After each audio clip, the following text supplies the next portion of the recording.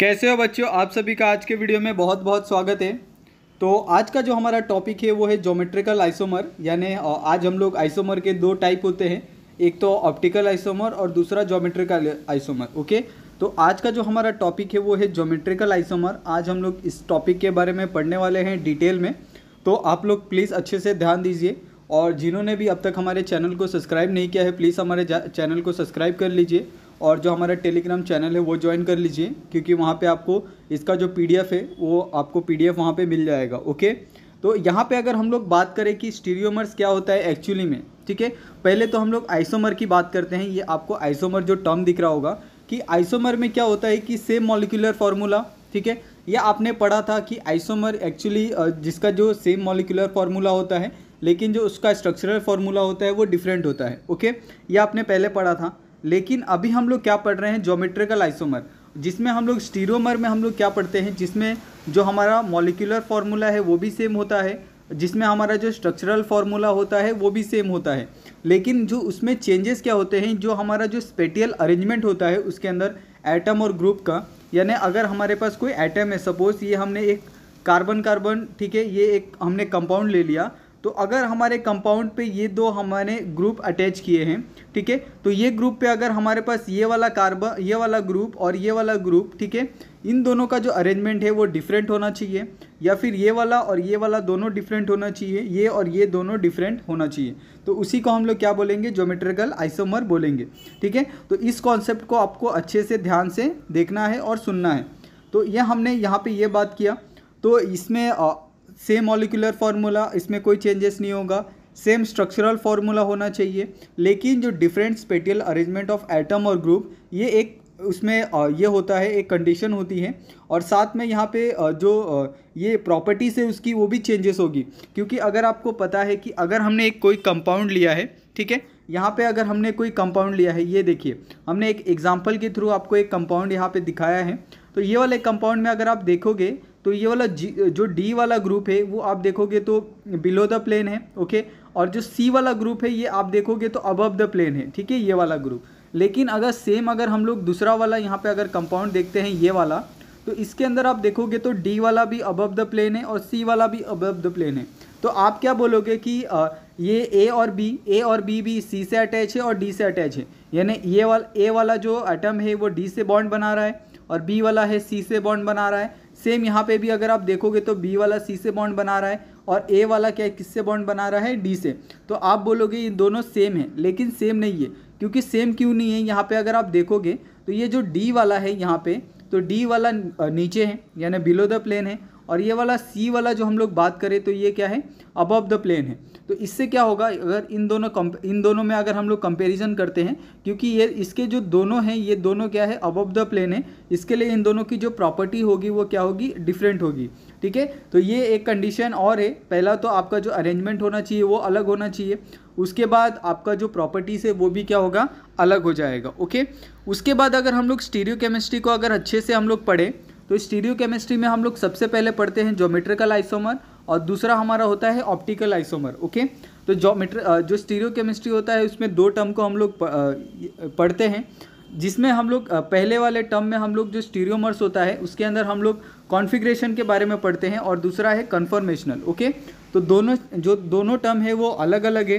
पहला तो कॉन्फ़िगरेशन क्या होता है? सेपरेबल होता है, उसको हम लोग सेपरेट कर सकते हैं।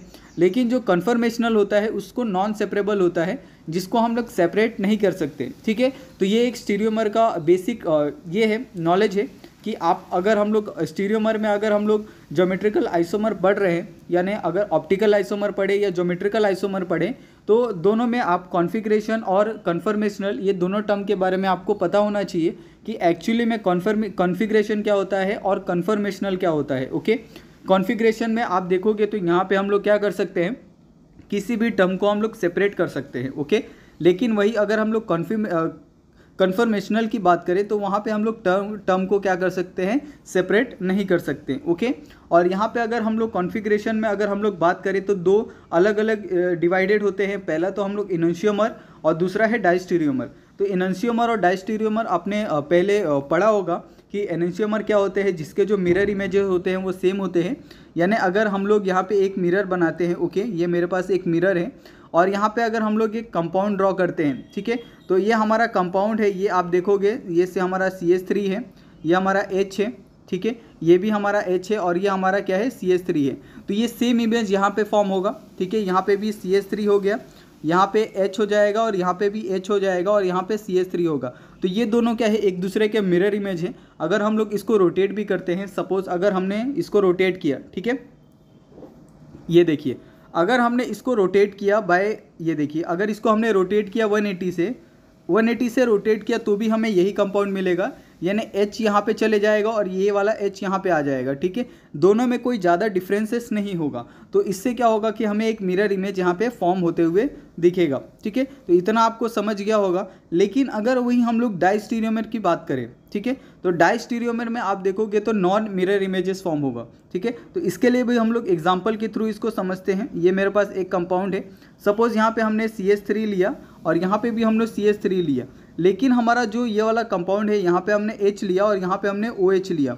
तो अगर हम लोग यहाँ पे इसका एक मिरर इमेज फॉर्म करते हैं तो ये ऊपर वाला और नीचे वाला तो हमें सेम मिलेगा, ठीक है? लेकिन यहाँ पे अगर हम लोग इसको रोटेट करते हैं तो ये वाला जो एच है, वो यहाँ पे आ जाएगा और ये वाला ओ एच है, यहाँ पे आ जाएगा। तो ये एक दूसरे के क्या है? मिरर इमेज नहीं है, ठीक है? ये आपको समझ गया होगा, ये देखिए। यहाँ पे ये वाला जो कंपाउंड है, यहाँ पे आ गया और ये वाला कंपाउंड यहाँ पे आ गया। तो ये दोनों क्या है? एक दूसरे के मिरर इमेज नहीं है, ठीक है? तो इससे ये आपको समझ में आ गया होगा कि मिरर इमेज क्या होता है और नॉन मिरर इमेज क्या होता है ओके तो यहाँ पे ये दोनों टर्म आपको समझ गए होंगे कि एक्चुअली में एनेंशियोमर क्या होते हैं और डाइस्टीरियोमर क्या होते हैं ओके तो एनेंशियोमर में अगर हम लोग बात करें तो बात करें तो सिर्फ़ हम लोग किसके बारे में पढ़ते हैं? ऑप्टिकल आइसोमर के बारे में ही हम लोग स्टडी करते हैं। लेकिन अगर डाइस्टीरियोमर की बात करें तो हम लोग इसके अंदर ज्योमेट्रिकल आइसोमर भी पढ़ते हैं और ऑप्टिकल आइसोमर भी पढ़ते हैं, ओके? तो अगर आपको कभी क्वेश्चन आता है, ठीक है, कि अगर आप, कभी क्वेश्चन अगर आप देखते हो, सपोज़ आपके पास एक क्वेश्चन है, ठीक है? ये क्वेश्चन में अगर आपको दिया है, यहाँ पे अगर कोई ग्रुप है, यहाँ पे कोई ग्रुप है, यहाँ पे कोई ग्रुप है, यहाँ पे कोई ग्रुप है ओके तो आपको चेक करना है कि इसका जो मिरर इमेज आपको दिया होगा, वो आपका मिरर इमेज फॉर्म हो रहा है या नहीं हो रहा है। उसके बाद आपको क्या करना है, इसके अंदर जो यहाँ पे आपको कंडीशन दी गई थी कि मॉलिकुलर फार्मूला उसका सेम होना चाहिए अपोजिट वाले एंगल में, ठीक है? उसका स्ट्रक्चर सही है या नहीं, और उसका आपको अरेंजमेंट देखना है, ठीक है? यानी अरेंजमेंट आप किस तरह से देखोगे, यहाँ पे जो आइटम है, यहाँ पे जो आइटम है, यहाँ पे जो मॉलिक्यूल है, यहाँ पे जो है, वो दोनों क्या होने चाहिए? अपोजिट साइड पे क्या होने चाहिए? सेम होने चाहिए। अगर वो दोनों सेम है तो उसके अंदर आपको जोमेट्रिकल आइसोमर मिलेगा और ऑप्टिकल आइसोमर दोनों चीज़ें यहाँ पे आपको मिलेगी ओके उसके बाद अगर हम लोग नेक्स्ट आगे बढ़ें तो यहाँ पर आप एक एग्ज़ाम्पल देख सकते हो ओके ठीक है? तो ये देखिए, यहाँ पे आपको एक एग्ज़ाम्पल दिया है, जिसमें हम लोग, उसमें बात किया गया है सीस आइसोमर और ट्रांस आइसोमर तो आपने लोअर क्लासेस में पढ़ा ही होगा कि एक्चुअली में सीस आइसोमर क्या होता है और ट्रांस आइसोमर क्या होता है ओके तो सीस आइसोमर यहाँ पे आप एग्ज़ाम्पल देखो, ठीक है? तो एग्ज़ाम्पल में आपको ये जो साइड है ना, ठीक है? और मैं आपको अच्छे से यहाँ पे दिखाता हूँ।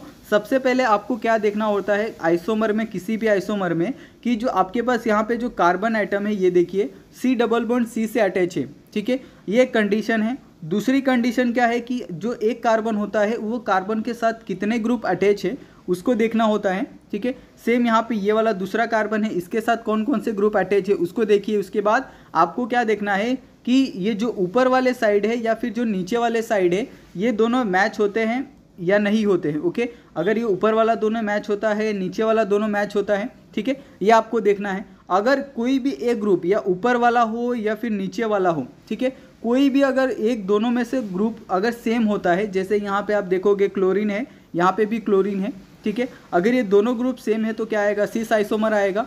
लेकिन अगर वही सेम चीज़ अगर आप दूसरे पे देखते हो तो यहाँ पे हाइड्रोजन है और यहाँ पे क्लोरीन है, ठीक है? तो ये ऊपर वाला मैच नहीं हो रहा है। उसके बाद क्या करना है? आपको नीचे वाला देखना है। तो यहाँ पे भी क्लोरीन है और यहाँ पे भी हाइड्रोजन है। तो ये क्या है? दोनों डिफरेंट है। यानी ये हाइड्रोजन है, ये हाइड्रोजन यहाँ पे मैच हो रहे हैं। ये क्लोरीन और ये क्लोरीन क्या हो रहे हैं? यहाँ पे मैच हो रहे हैं। तो इसके लिए ये क्या आएगा? ट्रांस आइसोमर आएगा। ठीक है? तो इससे आपको अंदाज़ा हो गया कि एक्चुअली में आपको सीस और ट्रांस किस तरह से फाइंड करते हैं। सबसे पहले तो आपको कार्बन के साथ जो ग्रुप होते हैं, उनको देखना है ओके उसके बाद आपको क्या देखना है? सामने सामने देखना है कि दोनों ग्रुप सेम है या नहीं है। अगर दोनों ग्रुप सेम नहीं है तो वो सीस नहीं होगा ओके अगर ट्रांस है तो ट्रांस आपको कैसे चेक करना है? ठीक है, ये बताता हूँ। अगर ट्रांस है तो आपको इस तरह से अपोजिट देखना है। अगर दोनों चीज़, अगर दोनों ग्रुप सेम है तो ट्रांस होगा। अगर दोनों ग्रुप सेम नहीं है तो मतलब वो एग्जिस्ट नहीं करेगा। ना ही वो ट्रांस होगा, ना ही वो सिस होगा। तो इस बात को आपको ध्यान देना है। आपको ये जल्दबाजी नहीं करनी है। अगर सिस नहीं आया तो आप ट्रांस लिख दो। पहले आप क्या करोगे? किसी भी, अगर कोई भी आपको कंपाउंड दिया है, कोई भी एलिमेंट दिया है तो आप उसको चेक करो कि एक्चुअली में वो सीस है नहीं है। अगर सीस नहीं है तो आप ट्रांस की भी कंडीशन को चेक करो। ट्रांस में आपका अपोजिट क्या होना चाहिए? सेम होना चाहिए। अगर अपोजिट भी सेम नहीं है तो वो क्या होगा? जो कंपाउंड होगा वो एग्जिस्ट नहीं करेगा, ओके? उसके बाद यहाँ पे एक और एग्ज़ाम्पल दिया है। ये देखिए, सेकेंड एग्ज़ाम्पल अगर हम लोग बात करें तो सेकेंड एग्ज़ाम्पल भी यहाँ पे आपको दिया है। सेकेंड एग्ज़ाम्पल में आपको ये दिख दिख रहा होगा कि जो ऊपर वाले दो ग्रुप है, ये सी एस थ्री और सी एस थ्री ये दोनों सेम है ओके तो ये क्या होगा? सीस होगा। लेकिन अगर आप दूसरा वाला कंपाउंड देखते हो, ये वाला तो इसके अंदर ये हाइड्रोजन है, यहाँ पे सी एस थ्री है, ठीक है? लेकिन ये ट्रांस किस तरह से हुआ? क्योंकि ये जो ये वाला कंपाउंड है हाइड्रोजन है, वो उसके अपोजिट में है, यानी इस तरह से है। तो ये क्या होगा? एक ट्रांस आइसोमर शो करेगा, ठीक है? अगर सपोज़ हम लोग बात करें यहाँ पे अगर हम लोग ने एच को काट करके अगर यहाँ पे सी लिख दिया ओके ठीक है? मैं यहाँ पे क्या करता हूँ? यहाँ पे क्लोरीन लिखता हूँ। तो अगर आप देखोगे तो ये वाला ग्रुप ये वाला ग्रुप सेम नहीं है, लेकिन ये तभी भी ट्रांस है क्यों ट्रांस है, क्योंकि यहाँ पे ये जो C S three C S three group है, ये देखिए, यहाँ पे आप, हमने सी एल लिख दिया। उसके बाद अगर हम लोग बात करें तो यहाँ पे अगर आप देखोगे तो ये वाला जो ग्रुप है और ये वाला जो ग्रुप है, ये दोनों को आप देखोगे तो ये दोनों क्या है? सेम है। तभी भी ये क्या फॉर्म हो गए? ट्रांस आइसोमर फॉर्म होंगे ओके तो इस बात को आपको ध्यान देना है। और दूसरे में यहाँ पे सिस में भी अगर हम लोग बात करें तो ये देखिए, यहाँ पे अगर ये दो ग्रुप सेम है सपोज़ हमने क्या किया है, ये एक ग्रुप को हमने यहाँ पे काट दिया है ओके और यहाँ पे अगर मैंने क्लोरीन लगा दिया है तो ये दोनों सीस नहीं है, ठीक है? इससे आपको ये पता चलेगा। लेकिन आपको क्या करना है, नीचे वाला भी देखना है। नीचे वाले में अगर आप देखते हो कि ये दो जो हाइड्रोजन है, वो क्या है, एक दूसरे को सीस है तो इसके लिए ये क्या होगा? सीस आइसोमर फॉर्म होगा, ठीक है? तो इससे इस बात का आपको अंदाज़ा लग गया होगा कि एक्चुअली में सिस और ट्रांस किस तरह से हम लोग देखते हैं। उसके बाद यहाँ पे एक कंडीशन दी गई है। ये कंडीशन को आपको अच्छे से देखना है ओके ये कंडीशन बहुत ज़्यादा इंपॉर्टेंट है। आपको इस कंडीशन को अगर आप समझ जाते हो तो आपको जोमेट्रिकल आइसोमर में कहीं भी भी कोई भी तकलीफ़ नहीं होगी ओके तो इस कंडीशन में क्या बोलता है कि आपका जो जोमेट्रिकल आइसोमर है ठीक है? ज्योमेट्रिकल आइसोमर में सबसे पहले तो आपके पास एक पाई बॉन्ड होना चाहिए ओके आपके पास एक पाई बॉन्ड होना ही चाहिए।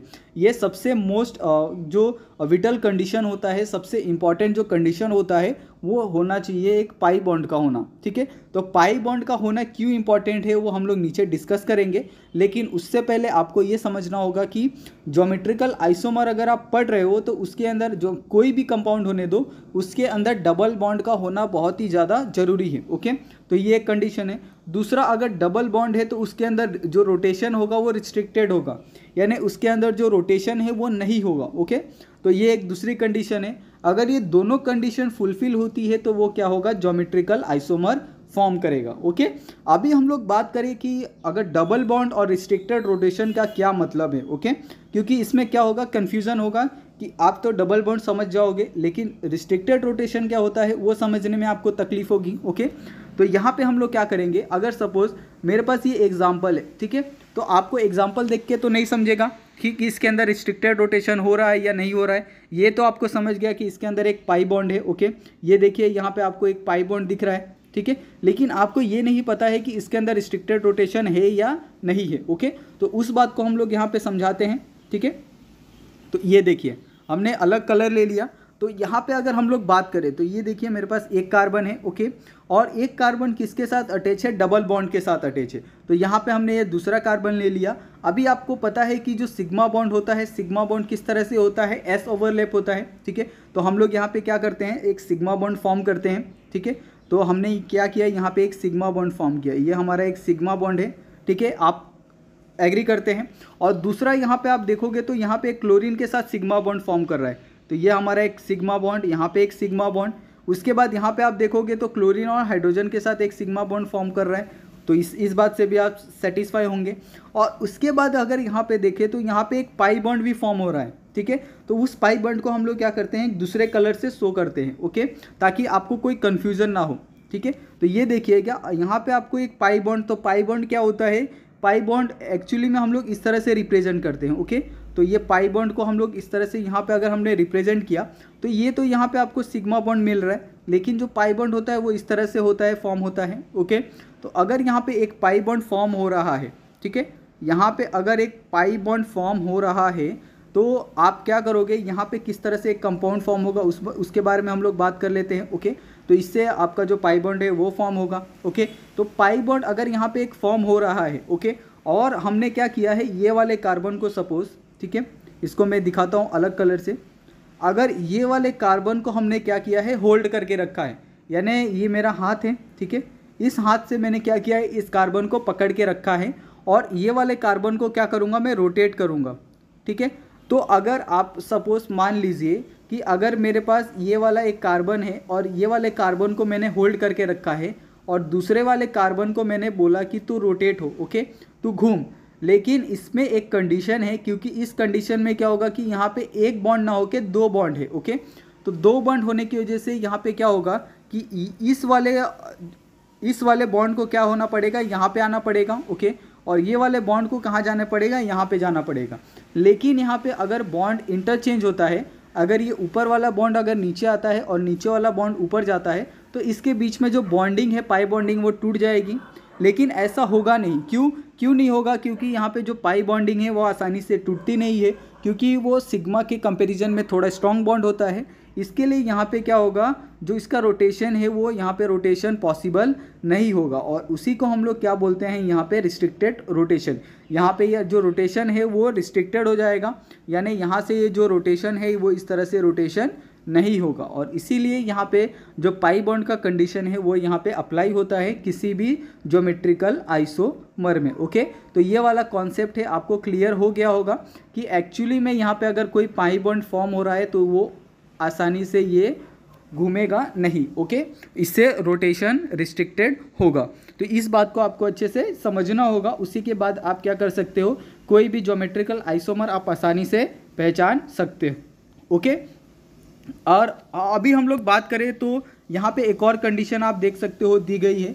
और थ्री सिग्मा बॉन्ड होने चाहिए, ठीक है? तो यहाँ पे अगर हम लोग इस एग्ज़ाम्पल को बात करें तो यहाँ पे आप कार्बन देख लो, ये वाला अगर हम लोग कार्बन कंसिडर करते हैं तो वहाँ पे एक सिग्मा बॉन्ड ये रहा, दूसरा सिग्मा बॉन्ड ये रहा और तीसरा सिग्मा बॉन्ड ये रहा ओके और उसी तरह से अगर हम लोग दूसरा वाला बात करें, ठीक है? तो दूसरे वाले कार्बन में ये देखिए, और यहाँ पे एक सिग्मा बॉन्ड है, यहाँ पे एक सिग्मा बॉन्ड है, यहाँ पे एक सिग्मा बॉन्ड है। तो इस तरह से क्या होना चाहिए? तीन सिग्मा बॉन्ड होने चाहिए। और आपको पता है, तीन सिग्मा बॉन्ड मतलब क्या होगा? एस टू हाइब्रिडाइजेशन होता है। यह आपको पता है, ठीक है? यह हाइब्रिड हाइब्रिडाइजेशन भी बहुत इजी होता है। अगर आपको नहीं समझता है तो आप पहले हाइब्रिडाइजेशन के बारे में भी आप पढ़ सकते हो ओके तो ये ये आपका कॉन्सेप्ट क्लियर हो गया कि एक्चुअली में एस पी टू हाइब्रिडाइजेशन किस तरह से होता है और इनके बीच में जो एंगल होता है, वो कितने का होना चाहिए? वन वन ट्वेंटी का होना चाहिए ओके और इसमें जो आपको एक जो स्ट्रक्चर मिलेगा, वो किस तरह से होगा? ट्रायंगुलर प्लेनार के अंदर स्ट्रक्चर मिलेगा, ठीक है? ट्रायंगुलर प्लेनार का मतलब क्या होता है कि अगर आपके पास एक प्लेन है, ठीक है? इस प्लेन के अंदर ही क्या होंगे? यहाँ पे सी एच सी एच ये वाले जो एटम है, वो बनेंगे ओके तो इससे क्या होगा कि आपका अगर इसको आप किसी तरह से भी अगर आप ये करते हो तो सबके साथ क्या होगा? अलग अलग जो भी आप करते हो, सबके साथ होगा ओके ये ना ही प्लेन के बाहर है, ना ही प्लेन के अंदर है। ये सारे के सारे क्या है? एक ही प्लेन पे है ओके कोई भी इसके अंदर से क्लोरीन हो गया, हाइड्रोजन हो गया या फिर कार्बन हो गया, वो सारे के सारे आपको सिंगल प्लेन पे यहाँ पे देखने को मिलेंगे ओके तो ये भी बात आपको समझनी होगी, ठीक है? उसके बाद अगर हम लोग बात करें यहाँ पे तो यहाँ पे आपको एक क्वेश्चन दिया है, आपको इस क्वेश्चन को समझना है okay draw the cis trans for the hexane तीन इन, ओके? तो यहाँ पे हमने ऑलरेडी उसका जो मोलिकुलर फॉर्मूला है, वो लिख के दिया है। लेकिन आपको क्या करना है, इसको आपको बताना है कि सिस कौन सा होगा और ट्रांस कौन सा होगा, ठीक है? तो ये बहुत ईजी है, ठीक है? मैं आपको यहाँ पे ड्रॉ करके दिखाता हूँ कि आपको एक्चुअली में ये समझा है या नहीं समझा है। तो यहाँ पे अगर आप देखोगे तो डबल बॉन्ड हमारे पास है ऑलरेडी तो इसको मैं यहाँ पे क्या करता हूँ ड्रॉ कर लेता हूँ, ओके? तो यहाँ पे अगर हमने ये सी डबल बॉन्ड सी हमने ये ड्रॉ कर लिया, ओके? बाकी का कंपाउंड यहाँ पे देखोगे तो एक हमने एच यहाँ पे लगा दिया ओके और दूसरा एच यहाँ पे हमने ये लगा दिया, ठीक है? तो दो एच यहाँ से हो गए, ये यानी पूरा कंपाउंड हमने ले लिया। अभी बचा हमारे पास क्या ये वाला ग्रुप और ये वाला ग्रुप बचा है ओके तो हम लोग क्या करते हैं यहाँ पे, ये वाला जो ग्रुप है यहाँ पे लगा देते हैं सी टू एच फाइव ठीक है? तो ये हमारा सी टू एच फाइव हो गया और दूसरा वाला ग्रुप यहाँ पे लगा देते हैं C two H five okay तो ये दो ग्रुप फॉर्म हो गए। अभी आपको बताना है कि ये सिस है या ट्रांस है तो यहाँ पे आप देखोगे तो दोनों हाइड्रोजन सेम साइड पे है और दोनों यहाँ पे ये जो ग्रुप है सी टू एच फाइव वो भी सेम साइड पे है। तो ये क्या हो गया? सीस हो गया। ओके अभी हम लोग यहाँ पे ट्रांस फॉर्म करते हैं। तो ट्रांस किस तरह से फॉर्म कर सकते हैं, ये भी हम आपको दिखा देते हैं। ठीक है? तो ये देखिए, यहाँ पे अगर हम लोग बात करें तो यहाँ पे ऑलरेडी एक हाइड्रोजन तो फिल कर दिया है। लेकिन यहाँ पे अब दूसरे कार्बन पे जो हाइड्रोजन है, हम लोग क्या करते हैं, इसको इस साइड ले लेते हैं। ओके अभी हमारे पास बचा ये वाला ग्रुप तो ये हम लोग यहाँ ले लेते हैं C two H five okay और जो हमारे पास ये वाला जो ग्रुप था, उसको यहाँ पे हम लोग ले लेते हैं C two H five okay तो ये क्या हो जाएगा? ट्रांस आइसोमर फॉर्म करेगा ओके तो इससे आपको पता चल गया होगी एक्चुअली में सिस और ट्रांस किस तरह से होते हैं ओके सिस यानी सेम साइड पे और ट्रांस यानी अपोजिट साइड पे ओके उसके बाद यहाँ पे एक और एग्ज़ाम्पल दिया है, आप देख सकते हैं। But two ene one four dio dioic acid का, ओके? तो यहाँ पे भी आप देखो सी डबल बॉन्ड सी के साथ, यहाँ पे ये वाले ग्रुप अटैच है और यहाँ पे एक वाला ग्रुप है। तो दोनों ग्रुप क्या है सेम है, इसके लिए ये क्या सिस होगा, ठीक है? और यहाँ पे आप देखोगे सेकंड वाले में तो सेकंड वाले में एच और सी डबल ओ एच ये दोनों ग्रुप अपोजिट है, लेकिन यहाँ दोनों ग्रुप सेम नहीं है। लेकिन अगर आप एच यहाँ देखते हो और एच यहाँ देखते हो, ये दोनों दोनों ग्रुप क्या है, एक दूसरे को अपोजिट है आप चाहे ये वाला ग्रुप ले लो या ये वाला ग्रुप ले लो ओके तो इसके लिए ये क्या होगा? ट्रांस होगा ओके लेकिन दोनों में अगर हम लोग कोई ग्रुप चेंज करते हैं तो इससे क्या होगा कि उसका जो प्रॉपर्टी है, वो चेंज हो जाती है। जैसे यहाँ पे आप क्या करोगे? यहाँ पे अगर आप देखते हो तो इसके अंदर मैलिक एसिड फॉर्म होगा। लेकिन अगर आप सेकंड वाला ही देखते हो तो इसके अंदर क्या होगा? फ्यूमरिक एसिड फॉर्म होगा ओके तो इसी को हम लोग बोलते हैं कि इसका जो स्पेटियल अरेंजमेंट है, वो डिफरेंट हो सकता है। लेकिन जो इसकी प्रॉपर्टी है, वो क्या होगी? चेंजेस हो जाएगी। लेकिन इसका जो स्ट्रक्चरल है या इसका जो मॉलिक्यूलर फार्मूला है, वो सेम होगा। यानी सी डबल ओ एच का जो मॉलिक्यूलर फार्मूला होगा, वो पहले में भी सेम होगा और दूसरे में भी सेम होगा। लेकिन अगर उसका अरेंजमेंट चेंज होता है तो उसके साथ उसकी जो प्रॉपर्टी है, वो भी क्या हो जाती है? चेंज हो जाती है ओके उसके बाद हम लोग बात करें तो ई जेड नोमैन लेक्चर ठीक है? तो ई जेड नोमैन लेक्चर में बहुत से बच्चों को बहुत ज़्यादा कन्फ्यूज़न होता है तो इसको भी हम लोग सिंप्लीफाई करके हम लोग पढ़ेंगे ओके ये देखिए ई जेड नोमेन लेक्चर तो आपको पता है कि ई जेड नोमेन लेक्चर आपने पढ़ा होगा लोअर क्लासेस में, लेकिन बहुत से बच्चों को समझता नहीं है कि एक्चुअली में ई और जेड नोमेन लेक्चर होता क्या है। तो इसके लिए यहाँ पे हमने क्या किया, इसको सिंप्लीफाई करके यहाँ पे आपको लिख के रखा है कि ई का मतलब क्या होता है और जेड का मतलब क्या होता है ओके उसके बाद हम लोग क्या करेंगे, एक एग्ज़ाम्पल के थ्रू इसको समझेंगे ओके तो ई का मतलब होता है इक्विवेलेंट ऑफ़ ट्रांसफॉर्म यानी अगर यहाँ पे जो कंपाउंड है आपको दिया है अगर वो ट्रांस है तो उसका मतलब आप वहाँ पे ई लिखोगे।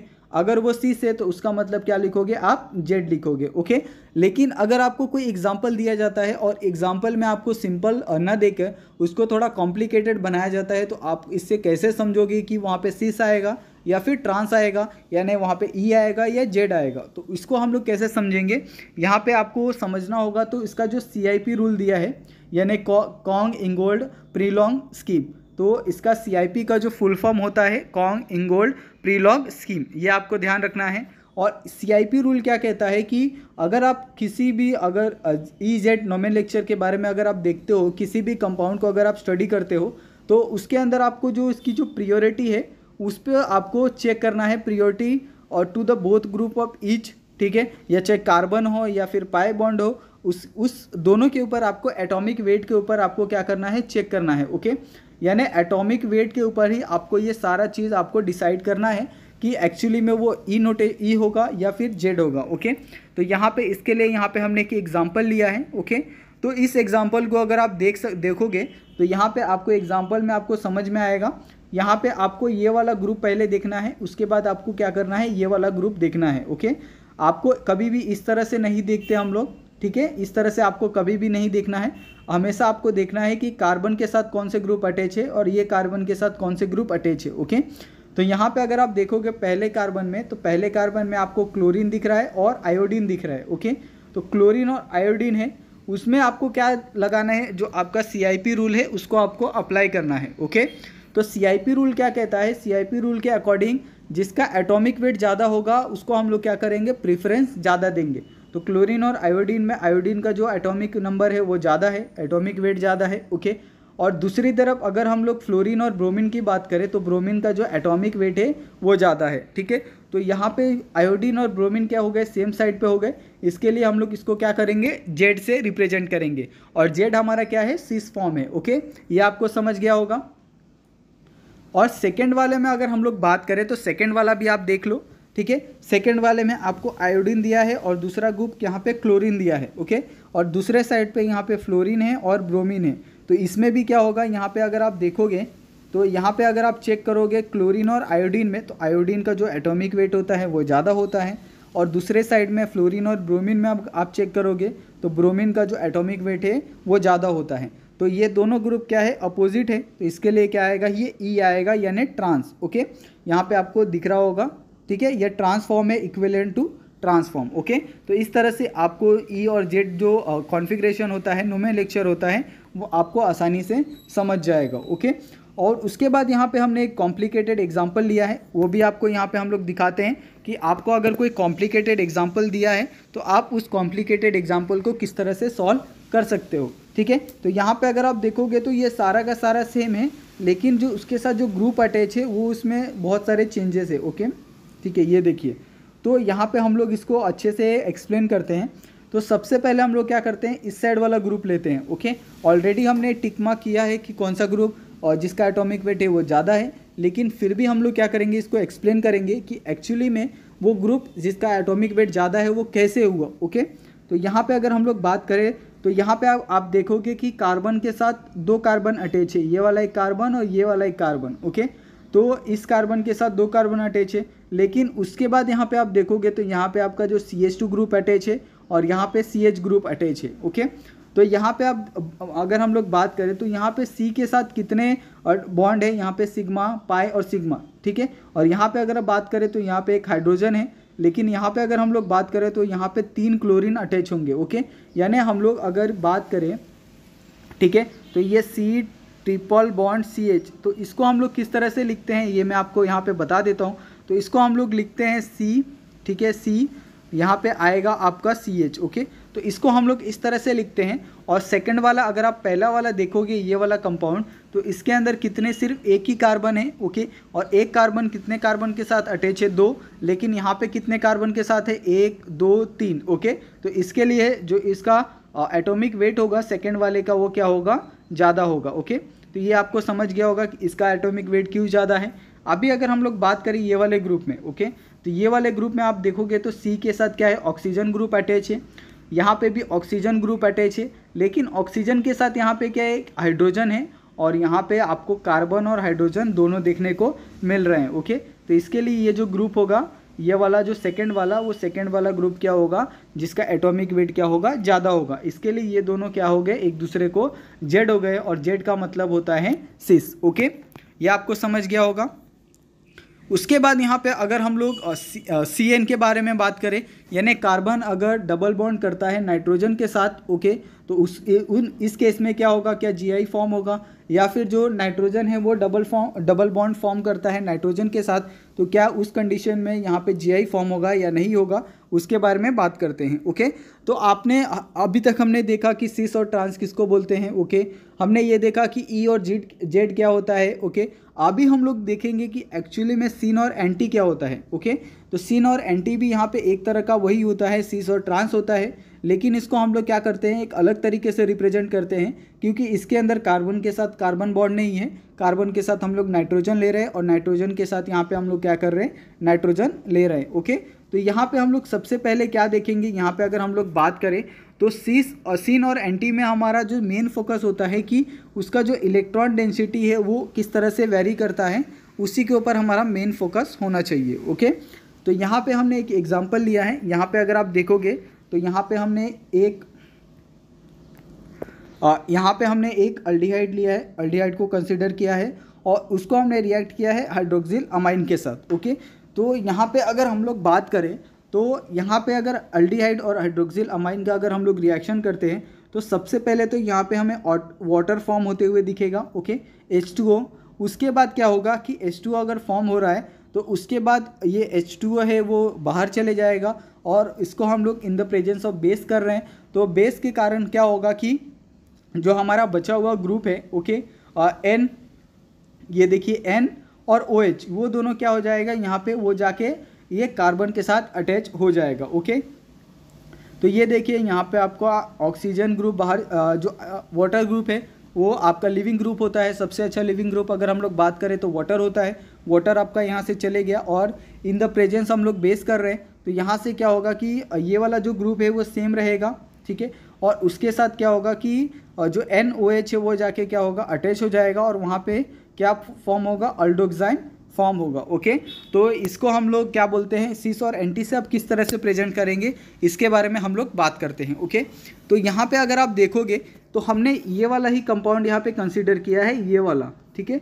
ये वाला ही कंपाउंड यहाँ पे हमने कंसिडर किया है। हमने बस इसके अंदर चेंजेस क्या किए हैं, ये देखो, ठीक है? यहाँ पे हमने चेंजेस क्या किए हैं, ये एक ग्रुप तो प्रेजेंट है, लेकिन इसकी जो वैलेंसी है नाइट्रोजन की वैलेंसी है, यहाँ पे आप देखोगे तो यहाँ पे एक सिग्मा है ओके यहाँ पे एक सिग्मा है कितने ओके और कितने हमें इसकी वैलेंसी फुल करने के लिए कितना सिग्मा चाहिए? और टोटल हमें चार सिग्मा बॉन्ड चाहिए।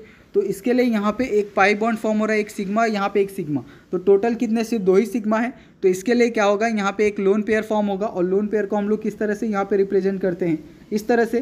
तो यहाँ पे जो इसकी वैलेंसी होगी, वो क्या होगा कंप्लीट हो जाएगी। यहाँ पे एक, दो, तीन, चार, यानी चार बॉन्ड यहाँ पे फॉर्म हो रहे हैं ओके तो इस तरह से अग, अगर हमको चेक करना है कि ये सीस है या एंटी है तो इस कंडीशन में हम लोग क्या करेंगे कि आपको ओ OH और एच का पोजीशन आपको हमेशा देखना होता है ओके तो यहाँ पे अगर आप एच को देखते हो और ओ OH को देखते हो तो ये दोनों क्या है एक दूसरे को अपोजिट है। इसके लिए क्या होगा ये एंटी होगा। एंटी का मतलब होता है ट्रांस ओके उसके बाद अगर हम लोग सेकेंड अगर हम लोग एजो ग्रुप की बात करें तो एजो ग्रुप क्या होता है? N double bond N okay तो एजो ग्रुप में भी हम लोग किस तरह से सीन और एंटी देख सकते हैं, ठीक है? ये हम लोग बात करते हैं। तो एजो ग्रुप में यहाँ पे आपको दो नाइट्रोजन दिए हैं ओके दो नाइट्रोजन दिए हैं तो यहाँ पे आपको ऑलरेडी दो लोन पेयर तो ऐसे ही आ गए, ठीक है? अभी यहाँ पे आपको दो यहाँ पे दो जो कंपाउंड है, वो अटैच करके दिए हैं, यहाँ पे एक, यहाँ पे एक ओके अभी हमें देखना है कि एजो ग्रुप में ये सीन है या एंटी है।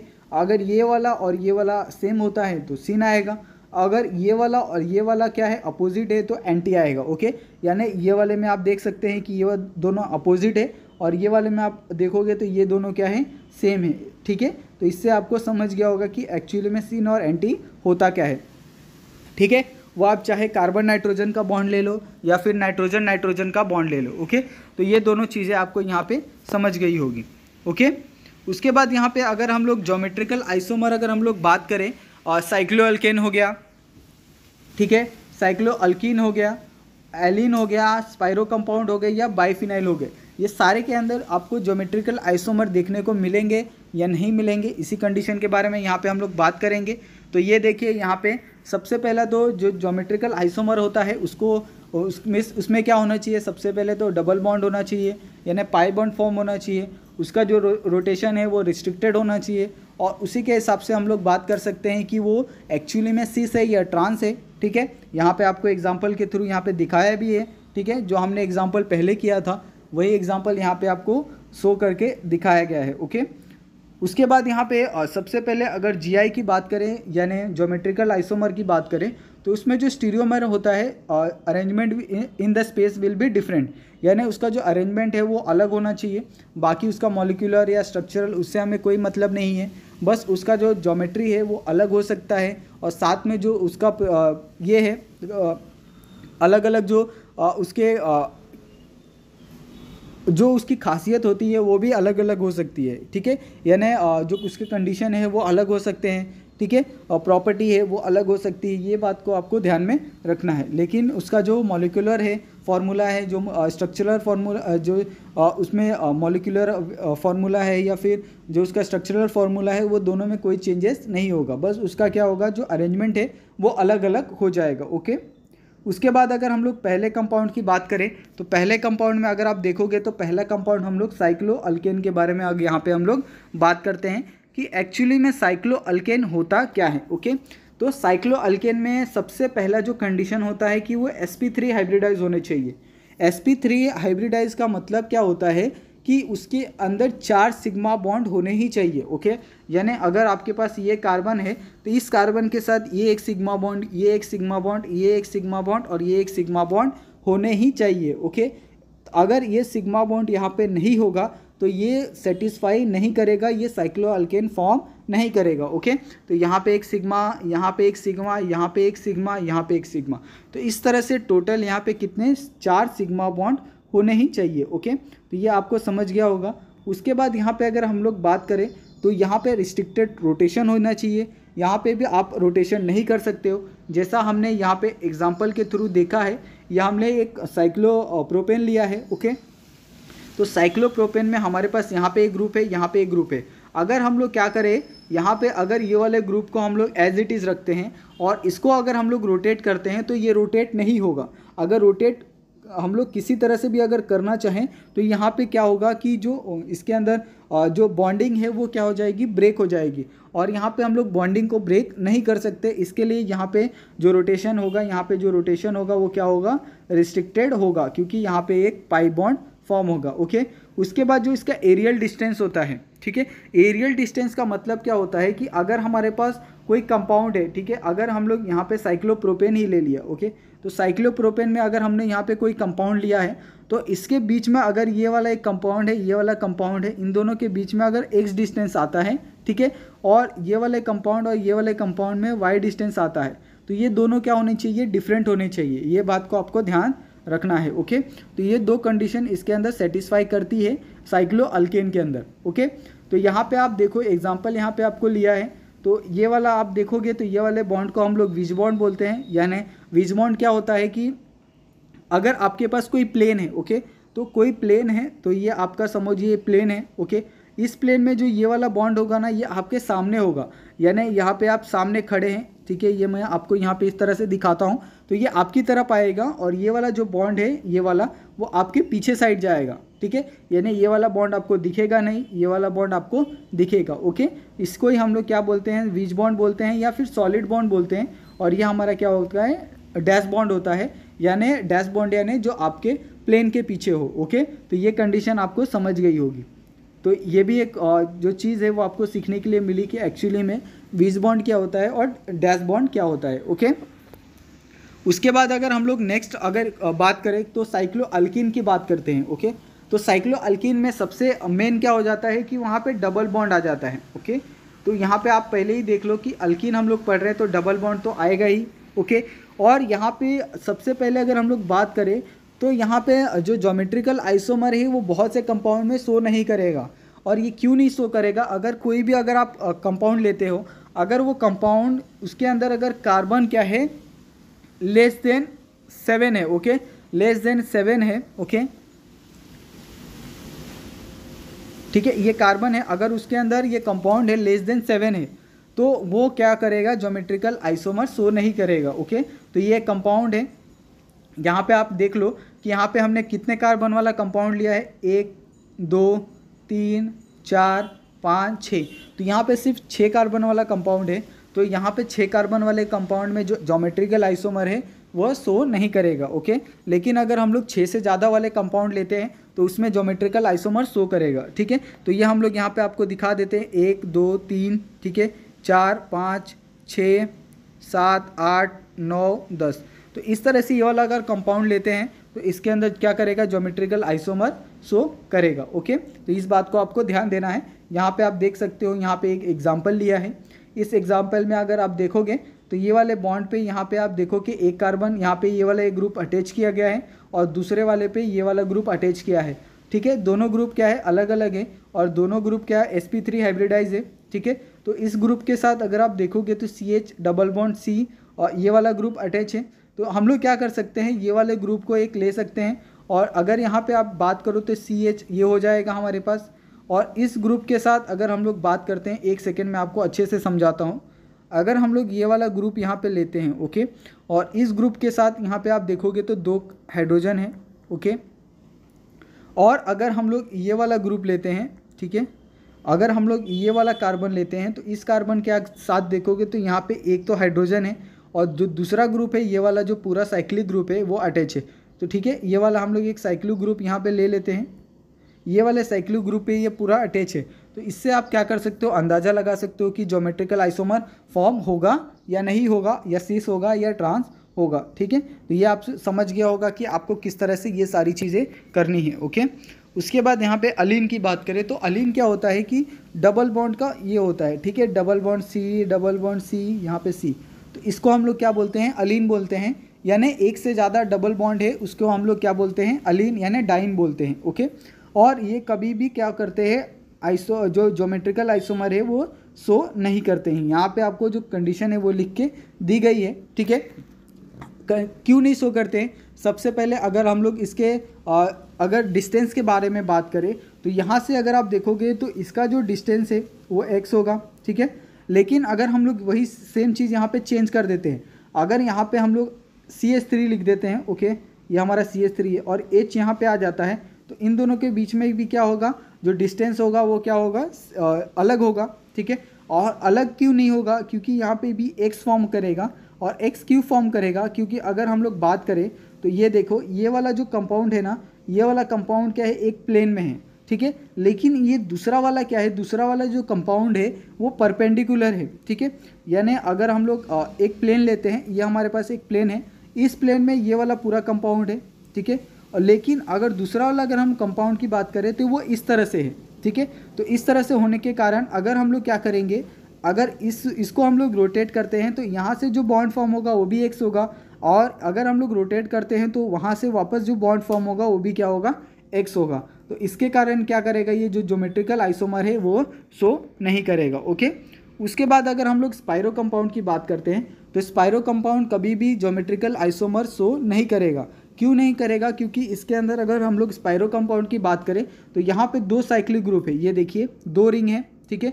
तो दो रिंग कभी भी जो जोमेट्रिकल आइसोमर है, वो शो नहीं करते हैं। क्यों नहीं करते हैं? यहाँ पे अगर आप बात करोगे तो अगर ये वाला ग्रुप एक्स वाई प्लेन में है ओके और ये वाला जो दूसरा वाला है, वो वाई जेड प्लेन में है, ठीक है? तो वाई जेड प्लेन और एक्स वाई प्लेन में होने के कारण ये क्या होगा कि दोनों के बीच में जो डिस्टेंस होगा, वो दोनों के बीच में जो डिस्टेंस क्या होगा? एक्स होगा। और इसके कारण ये दोनों जो प्लेन है, जो रिंग है वो एक दूसरे को आ, क्या होंगे? जोमेट्रिकल आइसोमर नहीं होंगे। लेकिन इसके अंदर एक कंडीशन होती है। वो कंडीशन क्या होती है कि अगर हम लोग यहाँ पे एक रिंग को बढ़ा दें यहाँ पे ठीक है? एक रिंग को हम लोग क्या करते हैं? यहाँ पे बढ़ा देते हैं। तो ये भी क्या हो जाएगा? यहाँ पे एक्स और वाई हो जाएगा ठीक है? तो ये और ये क्या हो जाएगा? एक दूसरे को जोमेट्रिकल आइसोमर शो करेंगे। लेकिन ये और ये दोनों एक दूसरे को जोमेट्रिकल आइसोमर शो नहीं करेंगे ओके तो ये आपको समझ गया होगा ठीक है? उसके बाद यहाँ पे एक लास्ट हमारा जो कंपाउंड था, उसके बारे में हम लोग डिस्कस कर लेते हैं, ये देखिए, ठीक है? लास्ट हमारा बाईफिनाइल था ओके तो बाईफिनाइल भी क्या है? ईजी है। तो बाईफिनाइल में हम लोग क्या करते हैं? यहाँ पे हम लोग कोई भी एक फिनाइल ग्रुप ले लेते हैं ओके तो यह हमारे पास फिनाइल ग्रुप है। इसको हम लोग क्या करते हैं? एक और फिनाइल यानी दो फिनाइल के साथ यहाँ पे अटैच कर देते हैं। ये हमारे पास बाईफिनाइल हो गया ओके लेकिन यहाँ पे भी क्या होगा कि जोमेट्रिकल आइसोमर शो नहीं करेगा। ठीक है? क्योंकि ये पॉसिबल ही नहीं है कि किसी भी बाईफिनाइल में जोमेट्रिकल आइसोमर शो करे ओके तो इस तरह से यहाँ पे जो इसका नोट्स है, वो आपको यहाँ पे समझ गया होगा कि एक्चुअली में ये किस तरह से होता है ओके यहाँ पे हमने ये जो पूरा जोमेट्रिकल आइसोमर है, वो अच्छे से यहाँ पे एक्सप्लेन किया है। तो आज के लिए बस इतना ही। अगर आपको वीडियो पसंद आया हो तो वीडियो को लाइक कीजिए चैनल को सब्सक्राइब कर लीजिए। तो thank you so much guys मिलते हैं हम लोग नेक्स्ट वीडियो में. तब तक के लिए आप अच्छे से पढ़ाई कीजिए और एग्ज़ाम पे फोकस कराइए, ठीक है? Thank you so much guys